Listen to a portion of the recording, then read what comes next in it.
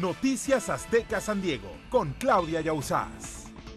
Un hombre se encuentra tras las rejas acusado de la muerte de su propio hermano en San Marcos. Estas son imágenes de la noche del domingo cuando alguaciles acordonaron la cuadra 1300 de Granite Road. Fermín Olano, de 45 años, llamó al 911 para pedir ayuda para su hermano a quien le disparó. El hoyo oxiso, quien se encontraba dentro de una vivienda, ya había muerto y su hermano fue arrestado. Fermín Olano dijo que disparó en defensa propia, pues su hermano lo intentó atacar con un puñal y le disparó. Las autoridades investigan el homicidio. Y seis presuntos asesinos de un hombre en Santee se encuentran tras las rejas. Trata de dos jovencitas de 18 años, otro joven de 18, dos más de 19 y un menor de edad. Son acusados de golpear a un indigente la tarde del sábado en la cuadra 9300 de Mission Gorge Road justo debajo de la ruta estatal 52, lugar donde quizás vivía la víctima de 55 años.